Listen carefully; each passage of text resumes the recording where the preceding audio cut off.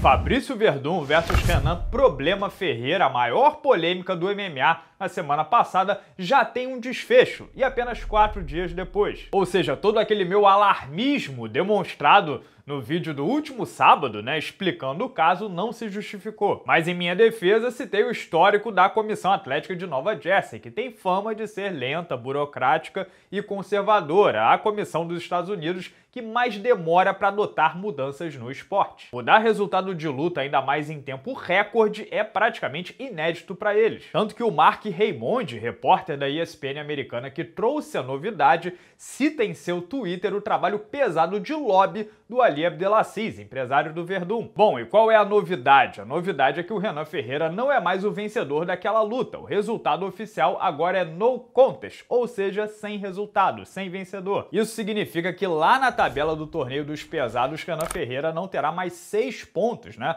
Da vitória e do nocaute no primeiro round. Ele terá um assim como o Verdun. Isso porque na regra da PFL está pré-estabelecido que em caso de no contest, os dois ficam com um ponto cada. Vale adicionar que, como adiantei no vídeo do sábado, a opinião do árbitro Keith Peterson seria absolutamente fundamental para a reversão do resultado. E o que o Peterson disse após passar o replay é que se ele tivesse visto lá, em tempo real, aqueles dois tapinhas, ele teria interrompido a luta imediatamente. Mas, Renato, se identificaram que o Renan bateu dentro do triângulo triângulo, né? Deu aqueles dois tapinhas de desistência, por que não dar a vitória ao Verdun? Primeiro, porque essa é uma sentença comum, aí vem o lance da burocracia. Na dúvida, eliminam o resultado. Segundo, porque assim espaço para controvérsia. O árbitro não interrompeu e nas versões que serão colhidas é a palavra de um contra a palavra do outro. Mas o motivo da mudança de resultado é simples, porque ainda que a versão do Renan seja 100% verdadeira, ele disse no seu Instagram que não queria desistir, que não bateu, que apenas estava tentando tatear para encontrar o rosto do adversário e seguir golpeando, no replay, na câmera lenta, os dois tapinhas, o tap,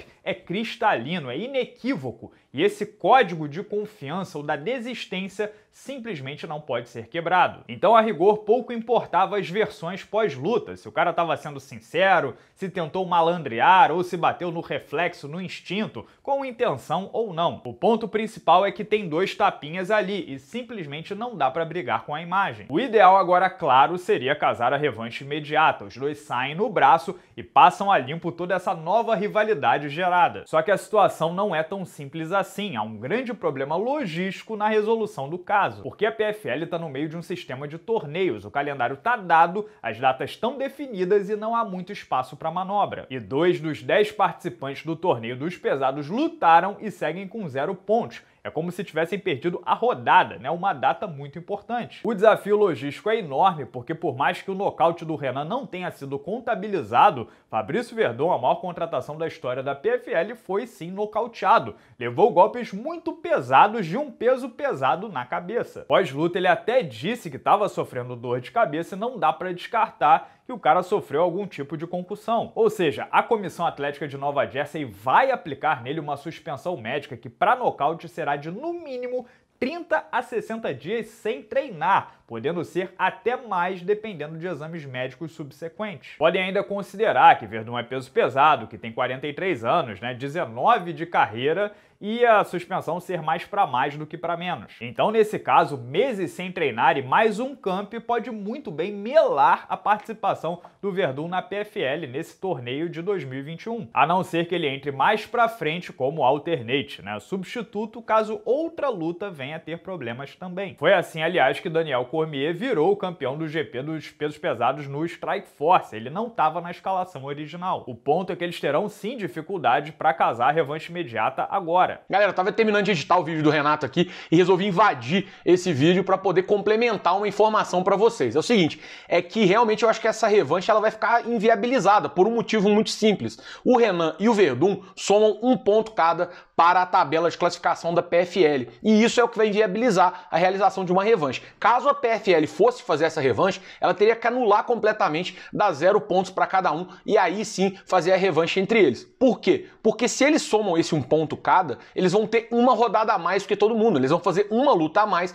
do que todos os lutadores nessa fase inicial. Vale lembrar que a PFL funciona meio que como uma liga de pontos corridos. Depois tem a fase de mata-mata com as semifinais e finais e tal. Seria como, por exemplo, para comparar com o nosso futebol, o Campeonato Brasileiro, se somente duas equipes de todas as 20 que estão disputando fizessem 39 rodadas e não 38. Seria uma vantagem injusta. Então acho que isso aí também vai acabar contribuindo para que a gente não veja uma revanche entre o Renan Problema e o Fabrício Verdun. Não sei qual vai ser a solução do Rei Cefo e da diretoria da PFL, mas eles podem muito bem decidir seguir em frente com o Renan Ferreira, que bem ou mal praticamente não foi atingido naquela luta, é bem mais jovem e pode voltar a lutar o quanto antes. Aí, se não houver solução expressa para o Verdun, né, tiver qualquer tipo de problema nos exames médicos, podem até ir buscar um substituto no mercado. E vale lembrar que Alistair Overeem e Júnior dos Santos, o Cigano, tiveram seus contratos com o UFC rescindidos recentemente. Mas claro, esses são apenas os meus dois centavos, o meu ponto de vista. O que vocês acharam dessa resolução expressa, né? De mudarem o resultado de vitória do Renan para no contest. Fizeram justiça, o certo seria ser vitória para o Verdun ou deveriam ter mantido o resultado? Uma polêmica muito grande, opiniões muito distintas eu estou vendo, pelo menos nos comentários aqui no sexto round. Mas vamos lá, comentem aqui na caixinha o que vocês acharam desse update da situação. Lembrando sempre, ah, duas pessoas não apareceram para reivindicar as camisas do sexto round do último sorteio. O Carrano sorteou sete camisas para o mês de abril e duas pessoas não apareceram para deixar lá o e-mail né, e reivindicar as camisas. Então, nesse mês sobraram duas camisas, são cinco camisas todo mês, então serão mais sete camisas sendo sorteadas no mês de maio. Se quiser concorrer às camisas, participar do nosso conteúdo, né? Lembrando que o vídeo exclusivo para os membros desse mês ficou disponível nos últimos dias. É só ir lá na aba comunidade aqui do YouTube e, claro, ajudar o sexto round a crescer. Considere virar membro clicando no botão azul aqui embaixo. E hoje, mais cedo, rolou o podcast de toda semana. Eu e Lucas Carrano